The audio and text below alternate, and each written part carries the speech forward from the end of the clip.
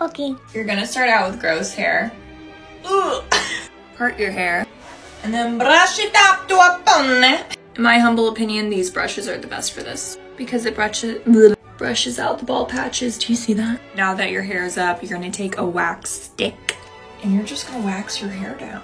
A lot of times I have to redo it with the wax. Okay, do you see how clean that is? You can either leave your hair like this or you can braid the pony. Argan oil. I have very layered hair, so we're gonna have to spray it down. Also, make sure the underneath is slick so it can slay. And now we're off. Woo! The hairspray definitely helps y'all. Here she is.